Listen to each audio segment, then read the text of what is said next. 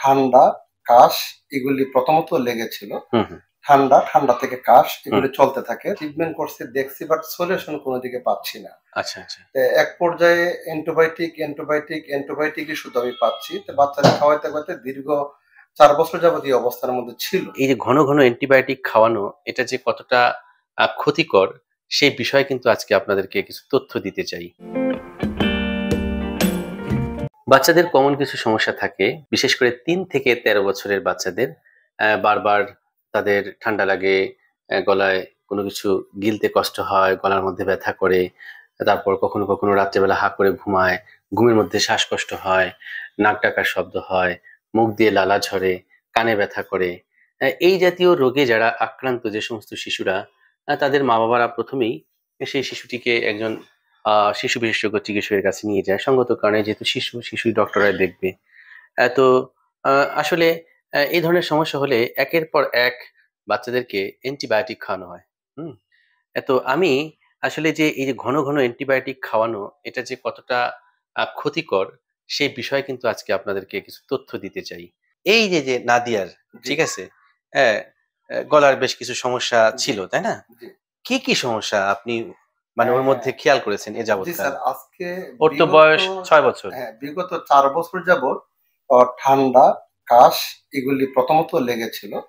ঠান্ডা ঠান্ডা থেকে কাশ এগুলি চলতে থাকে। আমরা বিভিন্ন ভাবে মেডিসিন ডক্টর তারপরে অ্যালার্জি ডক্টর বাট ওনারা ট্রিটমেন্ট করছে দেখছি বাট সলিউশন কোনো দিকে পাচ্ছি না। আচ্ছা আচ্ছা। এক পর্যায়ে অ্যান্টিবায়োটিক অ্যান্টিবায়োটিক অ্যান্টিবায়োটিকই শুধু আমি পাচ্ছি। তো বাচ্চারা খাওয়াইতে খাওয়াইতে দীর্ঘ চার বছর যাবত এই অবস্থার মধ্যে ছিল। বাট কোনো কাজে আসে নাই। উনি ওনার একটা কালচারাল টেস্ট করছে। করে বলে যে ওনার তো অনেকগুলি অ্যান্টিবায়োটিক হয়ে গেছে সব রেজিস্ট্যান্স হয়ে গেছে এবং বাচ্চার খুব খারাপ অবস্থানের কথা বলল বাচ্চা মারা যাবে। এরকম একটা কিছু ওয়ার্ড ব্যবহার করল যারা দিয়ে আমরা একদম আসলে নিজেকে স্থির রাখতে পারি নাই। শুনে আপনার কাছে আমি আসছি আমার মেয়েকে নিয়ে। আপনার আমার মেয়ের রোগের সাথে কথার সাথে আপনার সাথে আমার যথেষ্ট একটা মিল পাইছি প্রাণবন্ধ মিল পাইছি। এবং আমার এই রিপোর্ট দেখার আগে আপনি বাচ্চাকে দেখে বলছেন যে আমি ওনার সমস্যা আইডেন্টিফাই করে ফেলছি। আলহামদুলিল্লাহ এই কথাগুলি আমি কোথাও পাই নাই। আচ্ছা আচ্ছা। এটাই কিন্তু মূলত একজন রোগী এবং ডাক্তারের মধ্যে এই জিনিসটা থাকে হাজারো বাচ্চা বেঁচে যাবে। হাজারো টাকা নষ্ট হওয়ার থেকে বেঁচে যাবে। হাজারো অ্যান্টিবায়োটিক ইউজ করাতে বেঁচে যাবে। আচ্ছা আসলে অনেকে আছে যে ওষুধের দোকান থেকে নিজেরাই বলে যে বাচ্চা ঠান্ডা লাগছে এক ফাইল অ্যান্টিবায়োটিক ধরা দিচ্ছে। বা যেখানেই যাবে সবার আগে অ্যান্টিবায়োটিক অ্যান্টিবায়োটিক অ্যান্টিবায়োটিক। এই অ্যান্টিবায়োটিক খাওয়াতে খাওয়াতে আলটিমেটলি উনি যে কথাটি বলেন যে অ্যান্টিবায়োটিক রেজিস্ট্যান্সই ডেভেলপ করে। আসলে এইটা কি জিনিস? আমি একটু আপনাদেরকে বুঝিয়ে বলি।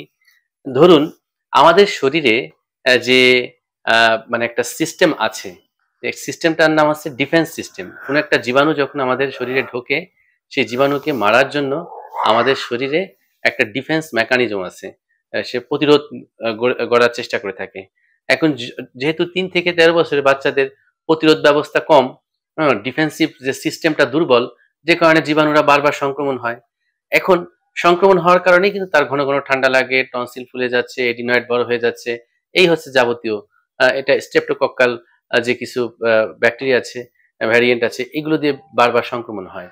এখন যখন এই সংক্রমণ ঠেকানোর জন্য আপনাকে অ্যান্টিবায়োটিক দেওয়া হচ্ছে মানে জীবাণুটাকে মারা হচ্ছে ঠিক আছে? তো জীবাণু তো প্রথমে মারা যাচ্ছে। তো জীবাণুরাও তো আসলে অনেক চালাক। ওরা দেখে যে ও, আচ্ছা আমি যদি ওর শরীরে ঢুকি তাহলে ওরা এই অস্ত্রটা ব্যবহার করে। তখন ওই জীবাণুরা তাদের গঠনগত চেঞ্জ করে ফেলে। ঠিক আছে? গঠন চেঞ্জ করে ফেলে ওরা আরও শক্তিশালী হয়। তো আরও বেশি শক্তি নিয়ে যখন ওরা আমাদের শরীরে ঢোকে তখন আমার ওই যে অ্যান্টিবায়োটিকটা আছে ওটা কিন্তু আর কাজ করে না। এখন যে ওরা অ্যান্টিবায়োটিক খাওয়ায়ও ওর কোনো লাভ হয় না। কেন লাভ হয় না? কারণ ওই জীবাণুগুলো টের পেয়ে গেছে ও আচ্ছা আমি যদি তোমার শরীরে যাই তুমি তো আমার এরকম একটা মেডিসিন দিবা তাহলে আমি শক্তিশালী হয়ে যাই। এই কারণে ওই মেডিসিন গেছে দুর্বল হয়ে জীবাণু গেছে শক্তিশালী হয়ে এই কন্ডিশনটির নাম হচ্ছে রেজিস্ট্যান্সি আপনারা দেখেন একটু আমি দেখাই। তার এক দুই তিন চার আহ, পাঁচ ছয় সাত। প্রায় সাত পদের অ্যান্টিবায়োটিক তার শরীরে আর কাজ করছে না। এই যে যে একটি প্রবলেম এটা কেন হয়েছে জানেন? এটা হতো না যদি আসলে মানে এটাকে শুরুতেই একজন ইএনটি স্পেশালিস্ট চিকিৎসকের কাছে যে যদি তার একটা আর্লি সেটেলমেন্ট করা যেত। এভাবে ঘন ঘন ঠান্ডার জন্য আপনার অ্যান্টিবায়োটিক না খাওয়ানোটা উচিত ছিল। তো এটা কিন্তু আপনাদের জন্য একটি মানে আমি মনে করি আজকে বিশেষ বার্তা যে আপনারা যত্রতত্র অ্যান্টিবায়োটিক খাওয়াবেন না। এই মেসেজটা কিন্তু যদি আমার এই ভিডিও দেখে আপনারা পান। আমি মনে করি আজকের এই ভিডিওটি করা সার্থক হবে। নাদিয়া তুমি কোন ক্লাসে পড়ো? কেজি। কেজি আচ্ছা। যে কোনো একটা ছড়া আমাকে শোনাও তো দেখি। তা গাছে তোতার পাখি ডালিম গাছের মুখ এতটা কি কম কথা বলা কেন গুড ভেরি গুড নাদিয়ার কি হয়েছিল? আমরা যখন একটি এক্স রে করে দেখি এটা হচ্ছে নাক। জি স্যার। তো এখান দিয়ে কিন্তু আসলে শ্বাস আসা যাওয়া করে হ্যাঁ? তো তার এই মাঝপথে অর্থাৎ এই যে যে ন্যাজোফ্যারিংস এই জায়গাটিতে হ্যাঁ ওর যে সাদা যে স্পটটা দেখা যাচ্ছে এটা মূলত কিন্তু তার এডিনয়েডের শ্যাডো। এটা কেন হয়েছে? তার গলার ভেতরে যে প্যালাটাইন টনসিল দুটো ফুলে গিয়েছে বারবার রিপিটেড স্রোত থ্রোটের কারণে। এবং ওটার কারণে এই এডিনয়েড টু বড় হয়ে গিয়েছে। তো এটা হওয়ার কারণে আলটিমেটলি যেটি হচ্ছে যে ও আহ, রাত্রেবেলা হা করে ঘুমাচ্ছে। তারপর দেখা যাচ্ছে যে আহ, ওর আহ, যে কোনো কিছু গিলতে কষ্ট হচ্ছে জায়গাটা চেপে গিয়েছে ভেতরে। হ্যাঁ তারপর হচ্ছে যে আহ, এই ধরনের বাচ্চাদের যখন এডিনয়েডটি বেশি বড় হয়ে যায় তার নাক এবং কানের সংযোগ করে একটি পাইপ আছে নামাজ ইউস্টেশন টিউব ওটা ব্লক হলে পরে কানের শ্রবণ ক্ষমতাও কিন্তু কমে যায় কানও পাকে। তো সবকিছু মিলিয়ে যেহেতু একটা একটা- মেকানিক্যাল অবস্ট্রাকশন তৈরি হয়েছে তো বাধাটা যদি আমরা উইথড্র করে নিই তাহলে কিন্তু তার সিমটম রিলিজ হয়ে যাচ্ছে। সো দ্যাট আমরা এই কারণেই তার এডিনয়েড এবং টনসিল দুটোকে রিমুভ করে দেবো আজকে। আমরা আশা করছি যে ওর এই উপসর্গ থেকে পুরোপুরি মুক্তি পেয়ে যাবে। আমরা তো প্রায়ই অপারেশন করি। জি। দেখেন যে টনসিলটা হ্যাঁ আসলে অনেক বড় হয়ে গিয়েছে। যে এডিনয়েডের কথা বলেছিলেন জি? স্যার জি স্যার এটাই হচ্ছে সেই এডিনয়েড অনেকে আমাকে প্রশ্ন করে স্যার এই যে টনসিল ফেলে দিলেন এখন এই টনসিলের কাজ কে করবে?